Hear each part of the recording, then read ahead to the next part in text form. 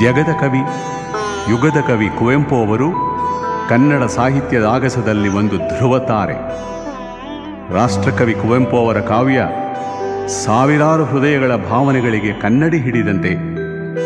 ಅವರೇ ಹೇಳುವಂತೆ, ಕವಿ ಹೃದಯ ಒಂದು ವೀಣೆ, ಲೋಕವದನು ಮಿಡಿಯುವುದು ಶ್ರೇಷ್ಠ ಕವಿಯಾಗಿ, ಕಾದಂಬರಿಕಾರರಾಗಿ, ವಿಮರ್ಶಕರಾಗಿ, ಮಹಾಕಾವ್ಯ ಶ್ರೀ ರಾಮಾಯಣ ದರ್ಶನದ ಕರ್ತೃವಾಗಿ ವಿಶ್ವ ಮಾನವ ಸಂದೇಶವನ್ನು ಜಗತ್ತಿಗೆ ನೀಡಿದ ಅವರು, ಕನ್ನಡಕ್ಕೆ ಸಲ್ಲಿಸಿರುವ ಸೇವೆ ಅನುಪಮ ಅಗಾಧ.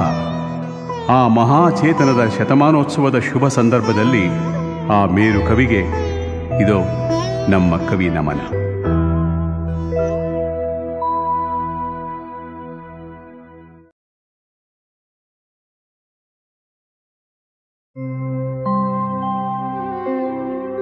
ಗಾನ ವಿಮಾನವೆಂಬ ಕವಿ ಕಲ್ಪನೆಯೇ ಅತ್ಯಂತ ಸುಂದರವಾದದ್ದು. ಗಾನದ ಮಹಿಮೆ ಕಲ್ಪನೆಗೂ ಮೀರಿದ್ದು.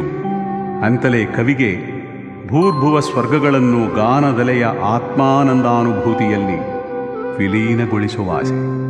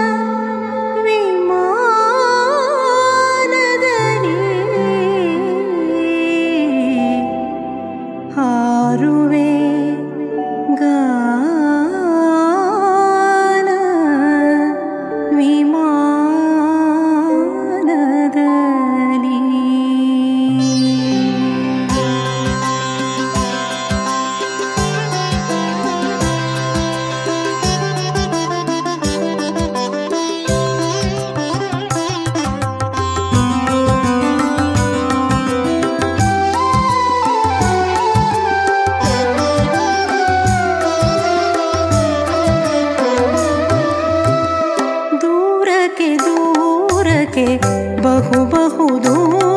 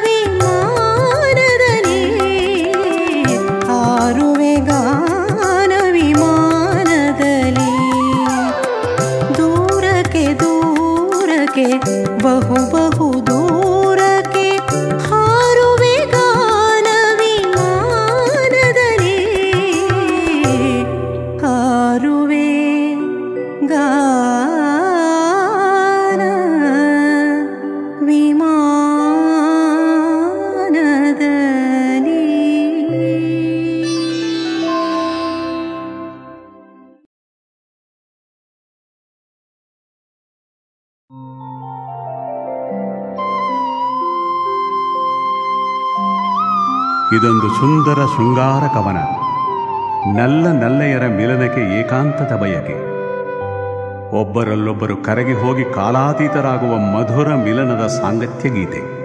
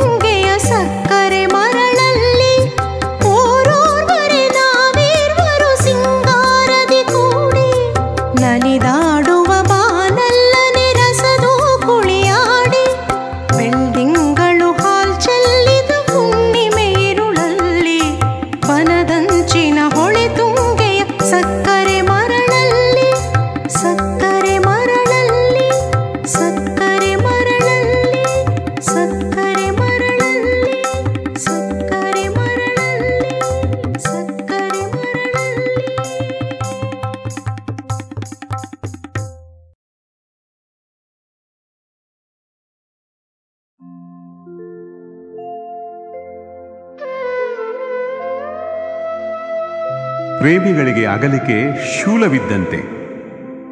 ವಿರಹದಿಂದೂರಿದ ಎದೆ, ಬಿಸಿಲುರಿದ ಮರುಭೂಮಿಯಂತೆ.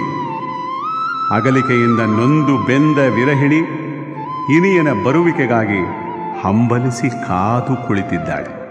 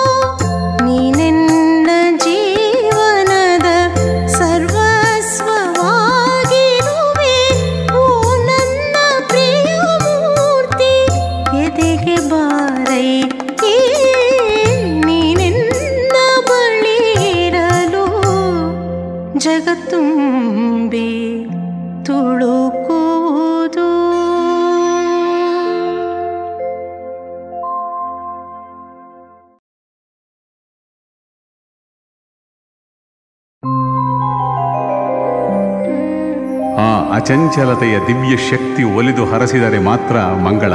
ಅಂತಹ ಚಿರನೂತನ ದಿವ್ಯ ಶಕ್ತಿಯನ್ನು ಸದಾ ನೆನೆವುದರಿಂದಷ್ಟೇ ಶುಭವು. ಈ ದಿವ್ಯ ಶಕ್ತಿಯ ಮುಂದೆ ಯಾವ ತಾರಾಬಲ, ಗ್ರಹಗತಿ ಬಲವೂ ಇಲ್ಲ. ಎಲ್ಲ ಬಲಾಬಲವೂ ಆ ಅಚಂಚಲತೆಯ ದಿವ್ಯ ಶಕ್ತಿ ಮಾತ್ರ.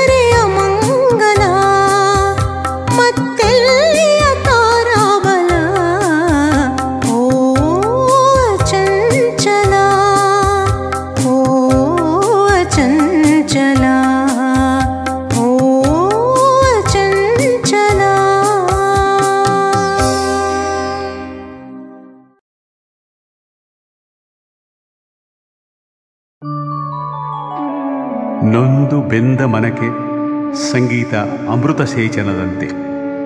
ಅಂತಹ ನಾದದಲ್ಲಿ ಮನವು ತಲ್ಲೀನವಾಗಬೇಕು. ದ್ವೈತವಳಿದ ದ್ವೈತದಲ್ಲಿ ಬೆರೆವಂತೆ ಮನವು ನಾದಲೀನವಾಗಬೇಕು. ಸಂಗೀತಕ್ಕೆ ಅಂತಹ ದಿವ್ಯ ಶಕ್ತಿ ಇದೆ.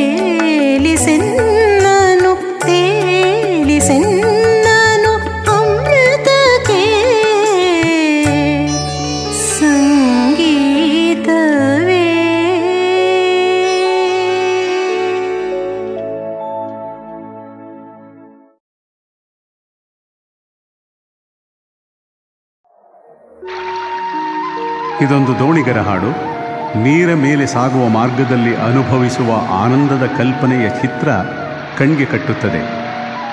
ದೋಣಿಯ ಪಯಣದ ಸೊಗಸನ್ನು ಅನುಭವಿಸುತ್ತಾ ದೂರ ದೂರ ಹೋಗುವ ಬಾರ ಅಲ್ಲಿಹುದೆಮ್ಮ ಊರ ತೀರ ಎಂಬಲ್ಲಿ ಜೀವನದ ಸುಖ ಸಂತಸವನ್ನು ಅನುಭವಿಸಿ ಜೀವನದ ಪಯಣವೂ ನೆಮ್ಮದಿಯಿಂದ ಸಾಗಬೇಕೆಂಬುದೇ ಆಶಾವಾದದ ಧ್ವನಿ.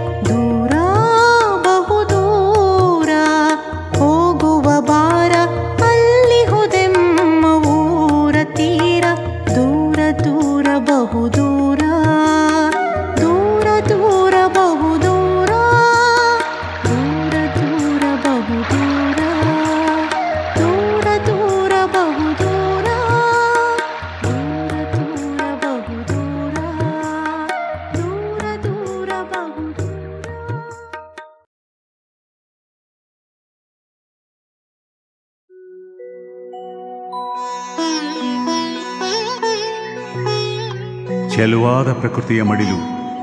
ಎಳೆ ಬಿಸಿಲಿದೆ. ತಿಳಿಗೊಳದೆ ಅಲೆಗಳು ನಲಿಯುವ ಚಂದದ ನೋಟ. ತಂಪಾದ ಗಾಳಿ. ಅರಳಿದ ಹೂ ಸೊಬಗು. ಸೊಕ್ಕಿದ ಗಿಳಿ ಬಳಗ.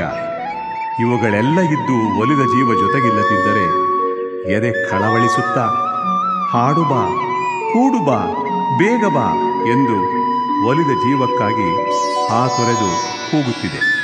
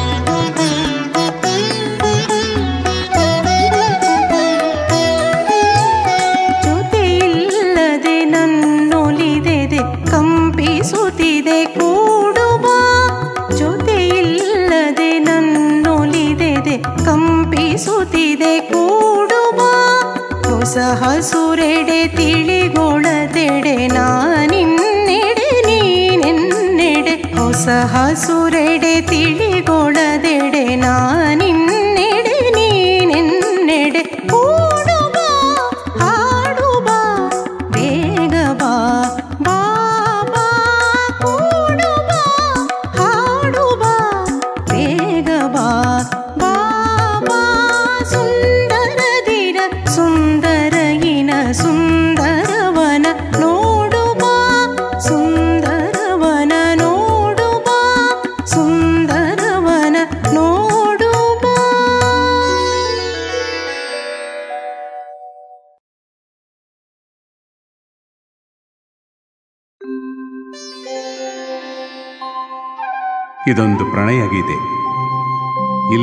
ಪ್ರಣಯದ ಆಹ್ವಾನಕ್ಕೆ ಹೂದುಂಬಿ ಅದು ಒಂದು ಸಂಕೇತವಿದ್ದಂತೆ. ನಿರೀಕ್ಷೆಯ ತಪಸ್ಸಿಗೆ ದೊರೆಯುವ ವರವೇ ಪ್ರಣಯ ಸಾಫಲ್ಯತೆ. ಅದಕ್ಕಾಗಿ ಕಾಯುವುದೇ ಈ ಕಾತುರತೆಯ ಉನ್ಮಾದ.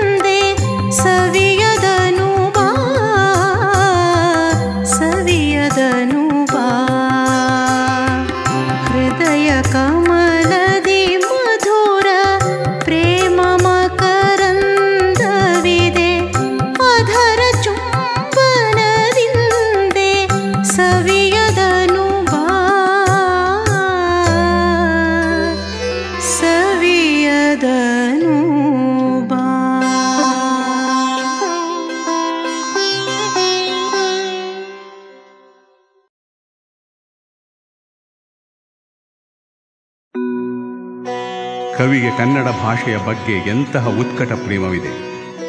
ಕನ್ನಡ ಬಾವುಟವನ್ನು ಎಂತಹ ಉನ್ನತ ಮಟ್ಟಕ್ಕೆ ಏರಿಸಿದ್ದಾರೆಂದರೆ, ಕನ್ನಡ ಭಾಷೆ ಒಲಿದು ಹರಿಹರರೂ ಒರವ ಕರುಣಿಸುವರಂತೆ ಕನ್ನಡ ತಾಯಿಯ ಸೇವೆಯೇ ಪ್ರತಿಯೊಬ್ಬ ಕನ್ನಡಿಗನ ಧ್ಯೇಯವಾಗಲಿ.